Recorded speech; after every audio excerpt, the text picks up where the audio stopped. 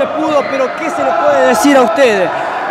Eh, lo que han entregado, lo que han, lo que han hecho, la verdad, en primer lugar, felicitaciones, no se pudo, pero el esfuerzo que han hecho es impresionante. Sí, sí, lo- un partido súper parejo que empezamos 15 a 0 abajo.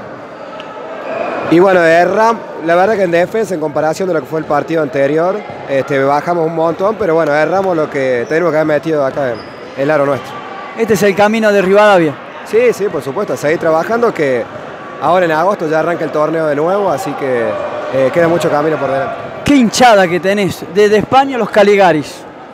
Bueno, sí, sí, toda la familia siempre acompañando y agradecerle a todos los que vinieron a ver el partido acá, la verdad que se jugó a cancha llena, hacía mucho que tanto de local como de visitante no venía tanta gente a ver un partido, así que agradecerle a todos.